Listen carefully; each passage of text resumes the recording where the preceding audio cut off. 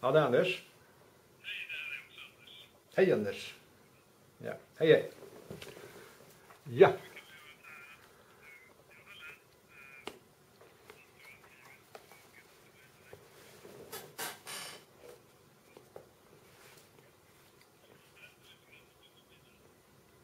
Min tanke. Ja.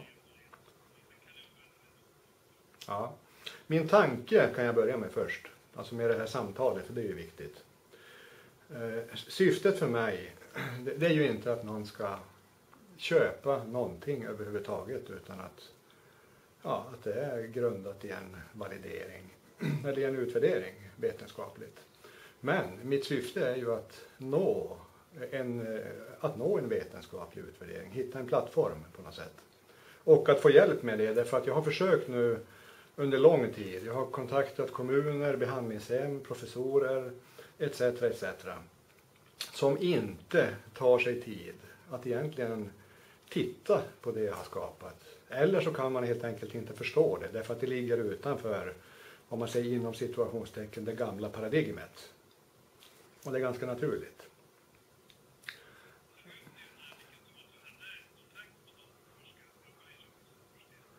Ja, alltså, alltså den, den killen i artikeln han är ju tidigare eh, beteendevetenskapligt ledningsansvarig för hela Previa Sverige.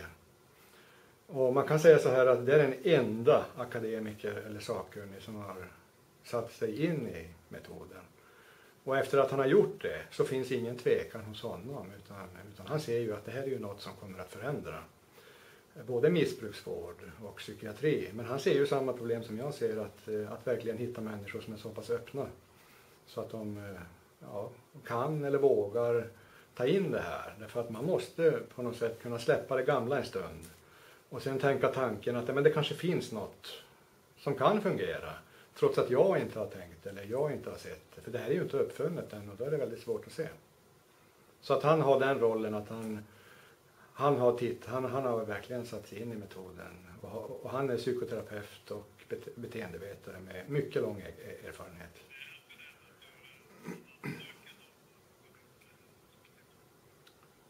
Ja, man kan säga så här att eh, han försöker via sina kontakter, men han möter egentligen samma sak där. Alltså li, lite misstroende, alltså man eh, vill som inte gå in i det.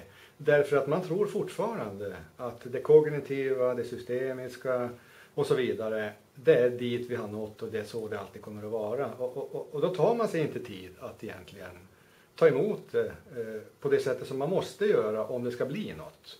Därför då, då måste man på något sätt eh, säga till sig själv att okej, okay, det kanske finns något annat. Jag släpper det gamla en stund. Så där fastnar jag hela tiden när jag möter kommuner, professorer och när han möter sina. Så att än så länge så har vi inte lyckats eh, nå. Jag träffade en professor för någon vecka sedan uppe i Stockholm. Vi bokade in ett möte. Han tog kontakt med mig innan. Och han kan ju se att det här, det här är ju något helt nytt och han har aldrig sett något liknande. Men då fastnar han i det här med att men hur blir det med det patologiska och diagnostiseringen och så vidare. Alltså det, nej, det, det, det är en professor som jobbar med äldrevården. Och det finns ju psyki, psyk, psykiatriproblem och han har också varit involverad i olika psykiatri och psykologiutvärderingar. Men jag når inte, alltså man tar inte in det här och jag kan förstå det. Därför att jag har själv jobbat på behandlingshem. Jag har ju beskrivit det, jag har varit fyra år på behandlingshem. Varav både som klient och behandlare. Med de skickligaste terapeuter. Min huvudterapeut hon är eh, professor i, i neurologi från Jugoslavien. Hon är en erkänt skicklig samtalsterapeut i hela världen. hon lyckades inte under de här fyra åren få mig att förstå det jag får mina klienter att förstå på några timmar. Tack vare den visuella överblick jag har. Det, det är den skillnaden. Vilket inte alltid är generellt, men alltså det är den skillnaden som sker.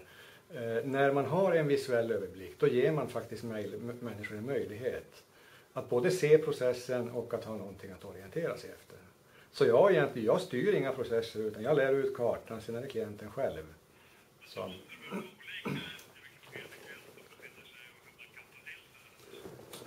Jag skulle nog vilja säga så här att de flesta skulle kunna ta till sig det här om man inte redan vore programmerade av samhället. Att Eh, det ska vara samtal, det ska vara krångligt, det ska vara svårt. Eh, nästan ingen klarar det. Så att det här är ju, alltså vi, vi, vi har ju ett stigma i samhället när det gäller psykiatri och missbruksvård.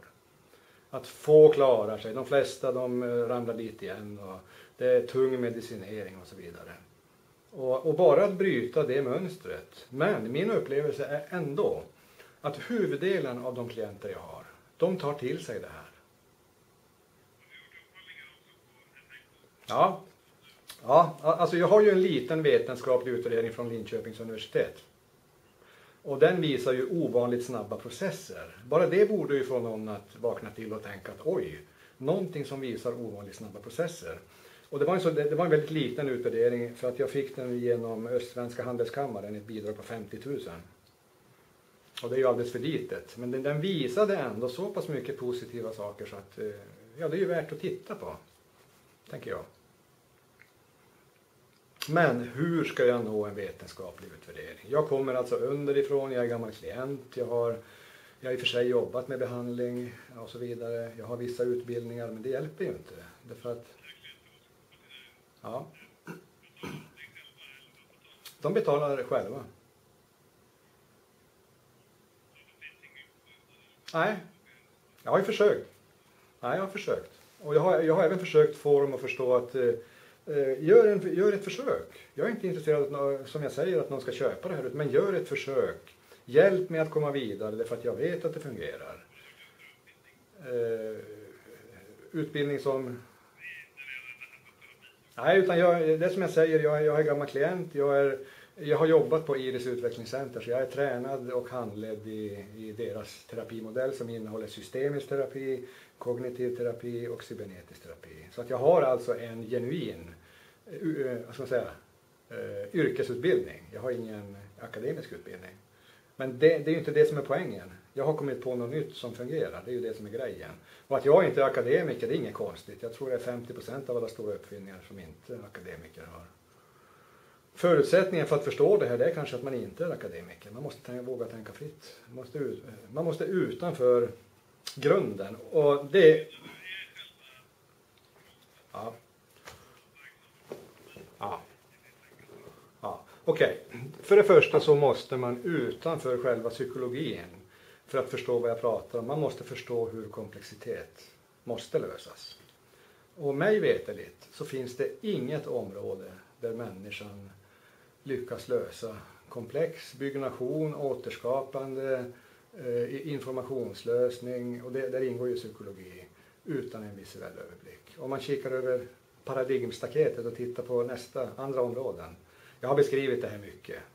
Man kan jämföra med kirurgi, du kan jämföra med orientering, du kan jämföra, till och med blommans DNA innehåller en karta som sätter ihop delarna så det blir en blomma. Och även hos människan och så vidare. Därför att eh, tittar man på vårt psyke så är det ett av de mest komplexa områden i universum. Och ändå så, så tror vi att vi ska kunna hantera det här utan en visuell överblick. Och det, jag, jag har alltså skapat en karta som visar exakt den process som måste göras om man ska gå från det sjuka tillståndet till ett friskt tillstånd. Och, och den är generell. Och, och, den måste processas för att förstås så det är därför Per Larsson förstår den. Ja, jag är inte forskare utan han, han finns på Previa. Ja. Och det, det, jag vill då av, om man ser med samtalet med dig, det är att få hjälp till en vetenskap. Alltså det är en otroligt billig eh, insats för att kanske göra skillnad för hundratusentals människor på sikt. Men jag når inte ut alltså, eh, om man säger de vanliga vägarna. Jag hittar ingen väg och jag tar kontakter då, men det är ingen som nappar på det därför att man har fullt upp med sitt. Och man tror faktiskt, det, det staten har sagt att det är validerat, ja då tror man på något sätt att det kan inte komma något nytt. Och det blir en väldigt märklig upplevelse. Alltså. Vilket, vilket, ja, vilket är naturligt i och för sig. För så har det alltid fungerat inom alla områden. Till och med när han som tog fram att jorden var rund så var det ett jädra motstånd bland plattjordsförespråkarna eh, för de kunde inte släppa sin gamla föreställning.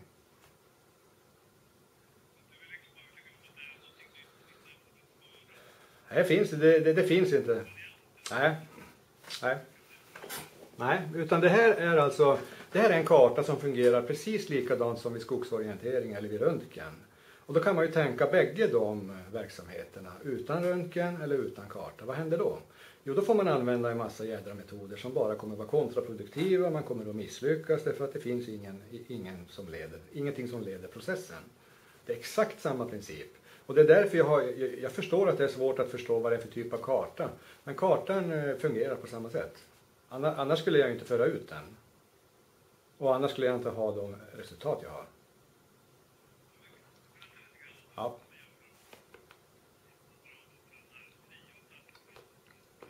Mm.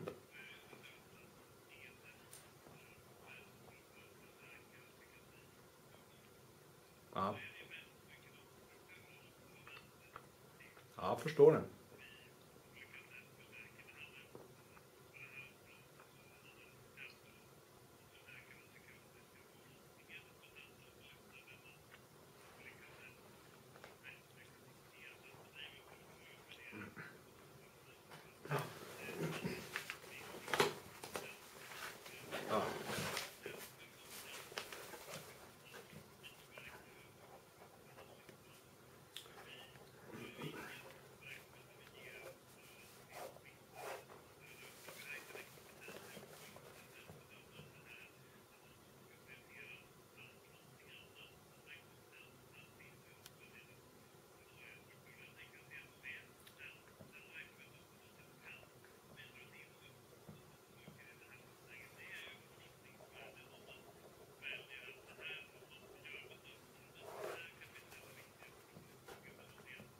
Okej, okay, får, jag, får jag bara stoppa dig där först? Och om du tänker så här då, innan röntgen fanns, hade du då kunnat, alltså innan någon kände till röntgen överhuvudtaget, hade du då kunnat gå ut till olika forsknings och säga att ja, jag har en kille som kommer underifrån och säger jag har uppfunnit något som heter röntgen. Eh, utan att eh, någon vet vad röntgen är, utan att, eh, utan att kunna tänka sig tanken att det går att eh, använda något som röntgen. Så kan jag lova dig att du kommer att få ett svar som nej det där kan nog inte fungera utan då blir det någon form av hokus pokus tanke att det finns inte. Och, och, svaret du ger det blir ju egentligen samma svar som jag får från alla andra. Och då kan man ju fråga sig så här, vem ska då hjälpa till? Är samhället ansvarig för att när det dyker upp något nytt, även om människor inte kan förstå det, oavsett om det är professorer, socialdepartementet eller du, är det någon som är ansvarig för att hjälpa till att nå en vetenskaplig utvärdering. Och vem är i så fall ansvarig för att det ska gå snabbt? Därför att jag visar faktiskt konkreta resultat. Det är bara att, att ta del av dem och titta på dem. Och utifrån det så borde egentligen, alltså utifrån min värld, jag har varit i, i, i den lidande världen. Jag vet hur, hur omöjligt det är att komma igenom med dagens metoder. Så det, det du beskriver egentligen, att man, sats, man ska satsa mer på en forskning som under decennier inte har nått någonstans kan man säga.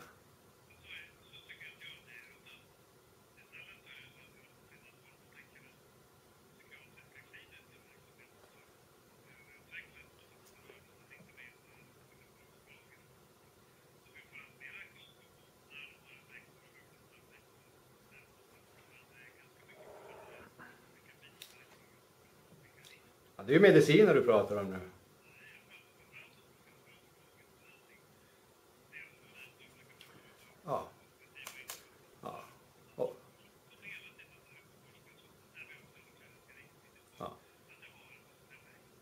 Det har inte god effekt.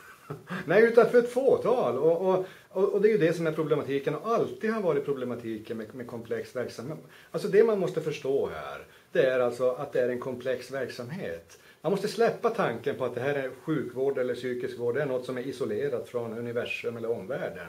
Det här är en komplex verksamhet och kommer inte att lyckas innan någon har skapat en visuell överblick. När den visuella överblicken är skapad, då kan man finjustera själva processen. Den karta jag använder fungerar på vilket problem du än plockar fram till mig och vilken individ du än tar. Det är ingen skillnad i själva processen till en lösning, den är marginell. Den, den korrigerar man efter utifrån individ, men den är så marginell och den tar lite olika lång tid. Men själva lösningen är exakt lika. Eh, att människor har olika livsprocesser, olika personligheter och så vidare, det är en helt annan sak. Det är precis samma sak som att eh, när, när du ska lägga dig under operationsbordet och en kirurg ska börja skära, ja då får man ju hoppas att han har en röntgenbild. För den, för den röntgenbilden kommer att visa att det ska skäras på ett ungefär exakt likadant i varenda människa. Men innan röntgen fanns, då fanns det tusen och åter tusen olika metoder, olika uppfattningar och så fortsatte man att forska inom det och ingenting kunde lösa. Man dissekerade hjärnor etc. etc. Det löste ingenting när det gällde själva operationerna.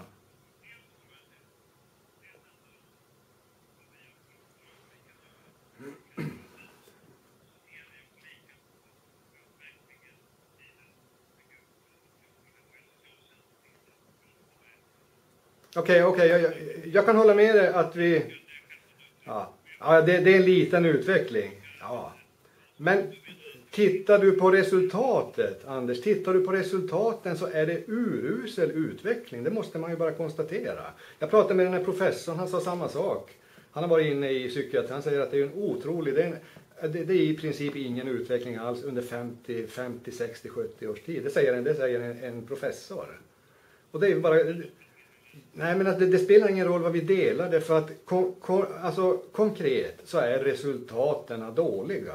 Det har inte blivit mycket mer bättre. Det har tillkommit med mediciner som kapar bort lite symptom men vi löser inga problem.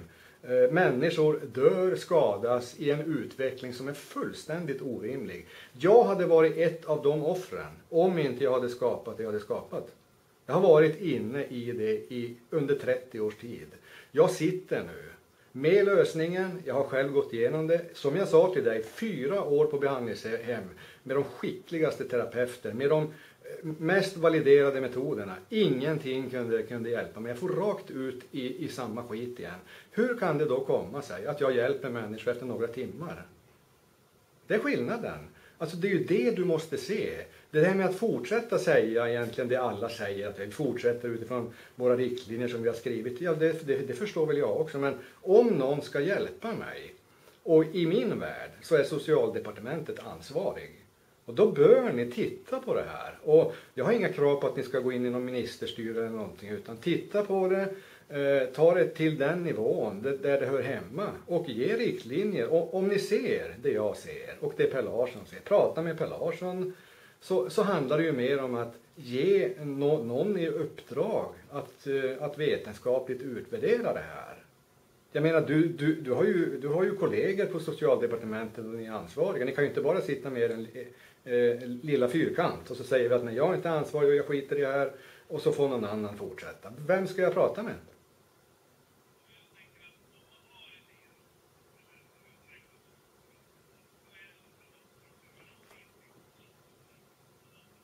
Jag förstår det Anders. Jag förstår det. Det är därför jag kommunicerar med dig. Det fungerar inte. Jag har ju försökt under många år. Per Larsson har försökt. Det fungerar inte. Vilka väg... Det är därför jag pratar med dig nu. Jag vill ha hjälp. Vad spelar det för roll? Okej, okay, stanna, stanna upp där nu. Det man jobbar med det är normalvetenskapen. Det här ligger utanför det normala paradigmet. Och det kan vi inte se. Det är inte uppfunnet än. Jag har uppfunnit det. Och det tar en ohygglig tid. Om vi...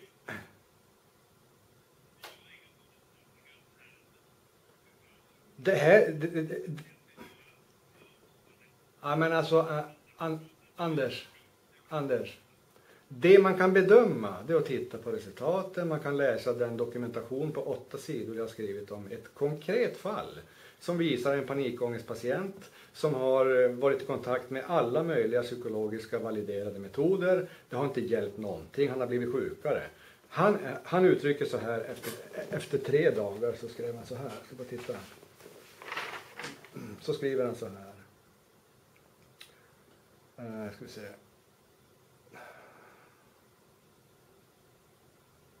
Klienten uttrycker direkt eh, att eh, vid terapistart eh, att nu finns tillit till processen. Och efter 108 dagar, efter de här tre dagarna, så har han visat att han, har, han är fri från panikångest, han har löst sitt liv och har fortfarande full tillit till processen. Därför att han driver den själv, vilket all komplexitet måste drivas av den som ska lösa eller bygga upp eller vad, eller vad det nu än är. Han har lärt sig kartan. Vi har, vi har några kartsamtal varannan, var tredje vecka. Det är en extremt enkel process. Den är kostnadseffektiv etc. etc.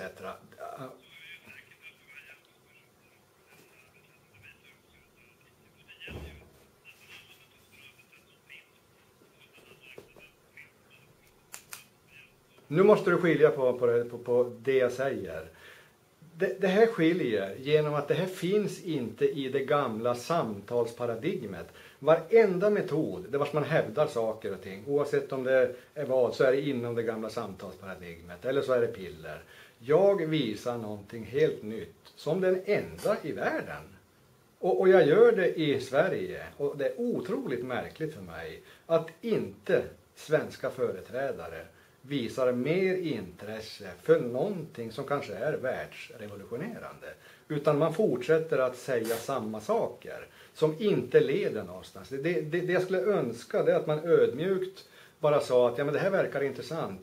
In, i, resultaten verkar ju fantastiskt intressanta. Ja, vi är, intressanta då, vi är intresserade av att titta på det här. Men det, det, det sägs inte. Ja, men om du inte kan... Ja,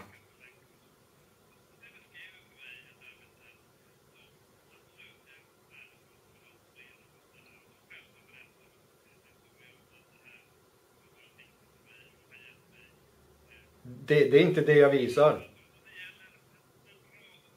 Det, det, är helt fel kan jag säga. Det finns inte en enda metod som konkret visar eh, goda resultat för flertalet. Utan då är det hokus pokus, då är det kortsiktiga eh, ad hoc-lösningar med eh, placeboeffekter etc.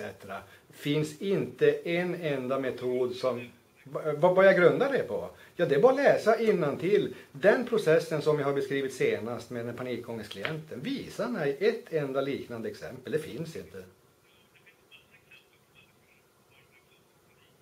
Inte på det sättet. Nej, definitivt inte. Det här är ju en kille som har gått fem gånger som han har deltagit i, i KBT-terapi.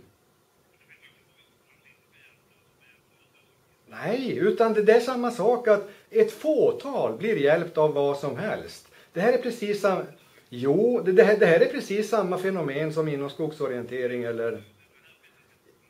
Det, alla, alla eh, om man säger, redovisade resultat på psykologisk orientering, missbruks, eh, eh, eh, missbruksmetoder visar inga bra resultat. Tolvstegsmetoden som, som nu ska vara den bästa inom missbruk visar ett resultat på 5-10 procent eh, eller något sånt. Och då har de 5-10 procenterna eh, fastnat i ett tvångsmässigt gå på möten. De har bara bytt ut det till en tro eller tro på Gud. Ja, men det är fakta. Det är ju en katastrof. Ah. Anders, Anders, ärligt. Ärligt så är det ju en katastrof. Titta hur det ser ut på en psykmottagning. Titta hur människor mår. Man försöker med elchocker, man försöker med tung medicinering etc. Det finns inte en enda metod nästan som lyckas eh, lösa de här problemen. Förutom för ett fåtal där vars problemen antagligen inte är så svåra. Det är verkligheten.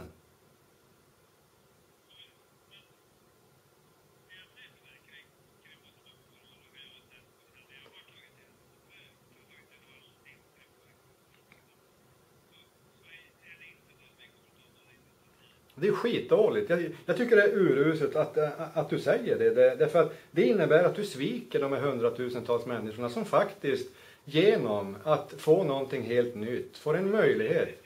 Nej men det spelar väl ingen roll vad du tänker utan ver verkligheten är ju sån. Nej, bullshit. Det, det, det kommer... Nej, men jag, all, alla vi... varför gör inte du så här istället? Att du tar det seriöst, pratar med Per Larsson och kanske för upp det till eh, dina chefer och så vidare. Att det finns någonting som är intressant. Det visar, det visar eh, oöverträffade resultat. Ska vi göra något åt det eller ska vi skita i det? Det, det, det vore mycket ärligare. Men när, när du gömmer det, vad spelar det för roll vad du har för underlag? Du är en människa med ett ansvar och, och du jobbar inom psykiatrin. Då har du ett ännu större ansvar. Nej, men det handlar inte om att tro. Det handlar inte om att tro här utan här handlar det om att titta på resultaten jag har. Och utifrån det förorda fortsatt vetenskaplig utvärdering. Som jag säger, en oerhört enkel, billig åtgärd för att inte missa målet. Tänk om det är på det sättet att den här metoden jag har är den felande länken för att flertalet ska få hjälp med, med svåra depressioner, ångesttillstånd och missbruksproblem. Vad är det då du gör?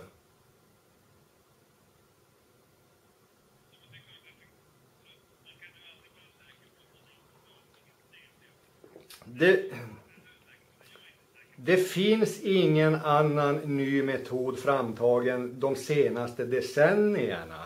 Det kognitiva kom på 50-talet. Jag visar någonting som är helt nytt. Som ingen har tänkt på, som ingen har lyckats skapa och ändå så sopar du bort det. Och det är det som är problemet. Du bör ju vara mer ödmjuk inför det, det, det du möter.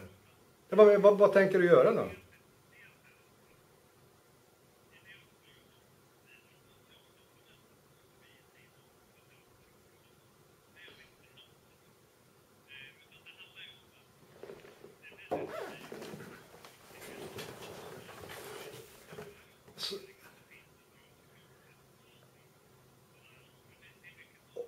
Om jag, okej, okay. om, jag upp, om jag uppmärksammar dig.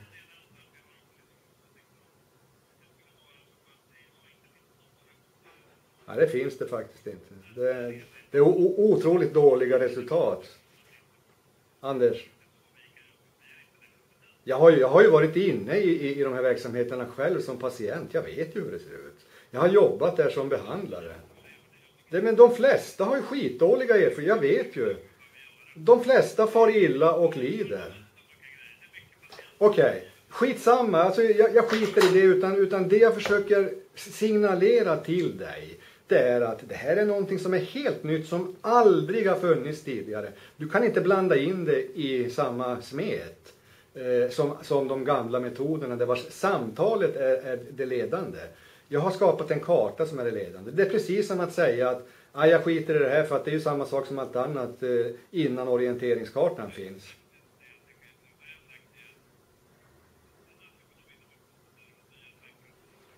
Det är så jävla destruktivt att uttrycka sig så. Du, du borde ju vara mer positiv och säga att ja visst, jag ska ta tag i det här, jag ska snacka med Per Larsson, jag ska se om jag kan göra något mer, kanske vi, eh, jag ska prata med fler inom socialdepartementet, kanske vi kan uppmärksamma det på något sätt, för det verkar ju intressant eftersom du har så goda resultat. Allt annat är ju jävligt galet. I, i min värld. Ja, det är klart.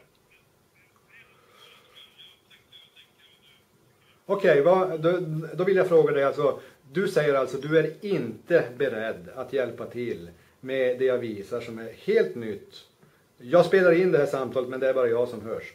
Eh, du, du är inte beredd att hjälpa till med, eh, med någon, någonting för att hjälpa till med att få en vetenskaplig utvärdering. Det, det spelar ingen roll därför att det, det, det, är, det, är, det, är, det är inte det. Jag, jag vet att det inte fungerar och ja, rent historiskt Anders, Anders så, så ja, ja, men de är ju de är felaktiga. Ja, det, det, det är ju det ni inte gör. Ni kan inte hitta en ny metod i det gamla paradigmet för ni siktar åt fel håll. Man kan inte fortsätta att utvärdera samtalsmetoder som inte kan fungera för komplexitet. Och det här visar jag så alltså jädra tydligt. Men ändå så fortsätter du att göra samma sak som inte kommer att fungera och du, du stöter bort det jag visar, eller hur? Du vill inte ha det alltså? Nej, men det, det, det, är inte det jag ber om. Det är inte eh, fel. Det är inte det jag ber om. Jag har inte, hallå Anders. Jag har inte bett dig att, att bedöma metoden. Jag har inte bett dig att initiera något utan jag har bett dig att, gå, att ta del av resultaten och att hjälpa till med att uppmärksamma metoden. Och det kan du göra utifrån det ansvar du har.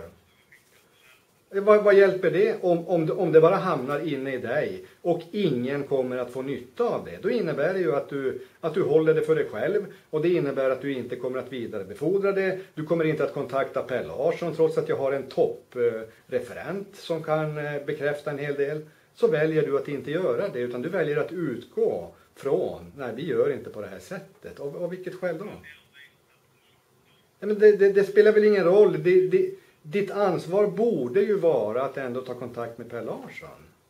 Eller hur? Du tycker inte det? Du anser att du, att du vet allt? Men vad, vad, vad är det du säger då? Ja men då, då, borde du, ju, då borde du ju ta kontakt med Per Larsson. Om du, om du samtidigt säger så här. Eh, jag har, vi har inte kompetens, vi är inte kompetenta att bedöma metoder. Då borde du väl ta kontakt med, med, med den enda person som har bedömt den.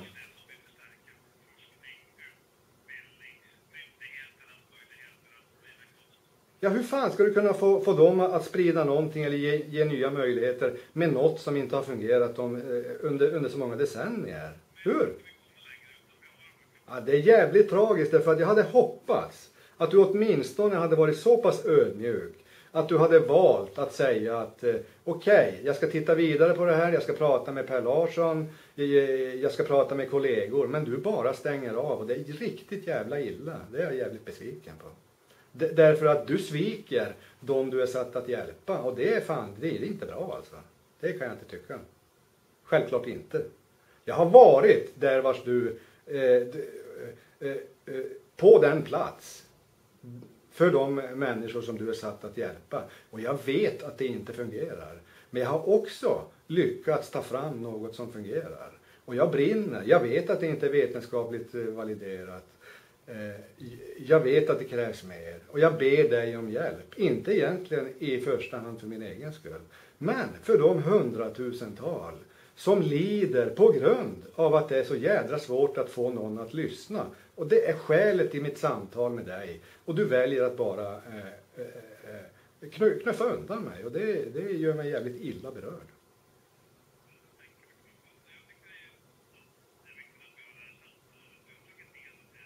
För mig är inte ett sånt här samtal alls viktigt. Det är, det är, väldigt, det är väldigt destruktivt. Jag, jag struntar faktiskt. Du, du, det handlar inte om det. Jag har, inte, jag har aldrig sagt att jag inte tror på någonting utan jag vet efter lång erfarenhet vad som fungerar och inte fungerar. Jag har, jag har jobbat med kognitiv terapi själv, systemisk terapi, cybernetisk terapi. Jag har sett misslyckandena. Men jag har också sett, efter att jag lyckades skapa det jag skapade, hur jag själv lyckades lösa mina problem snabbt, hur jag får mina eh, klienter att lösa sina problem snabbt. Det finns fakta, det är ju fakta.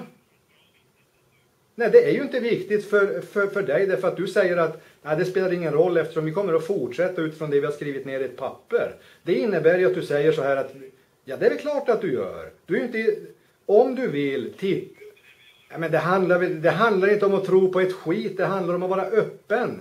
Därför att om det kommer något nytt, och nu råkar det vara i Sverige, det är faktiskt det enda nya som är framtaget med, med en annan grund någonsin inom, inom psykologin sen Freud startade.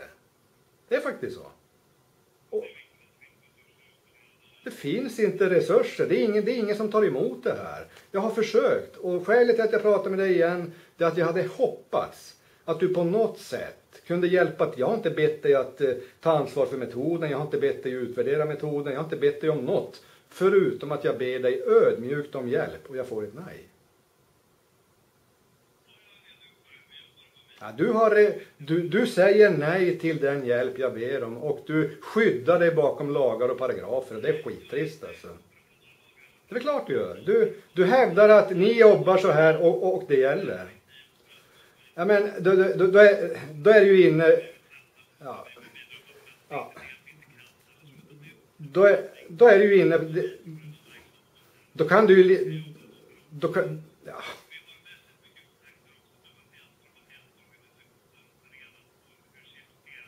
ja. Men det här är ju något nytt. Du, du jobbar ju med det gamla, det här är något nytt. Du måste, du måste ju förstå att det jag pratar om, det är inte de gamla metoderna, det är inte de gamla sätten, det är något helt nytt. Men du fortsätter att rabbla upp det gamla som skäl till att inte ta emot det nya och det är inte hållbart. Det, det kan inte hållas. Ja, vi kommer inte längre och det är jävligt tragiskt att vi inte gör det. Okej, okay. hej.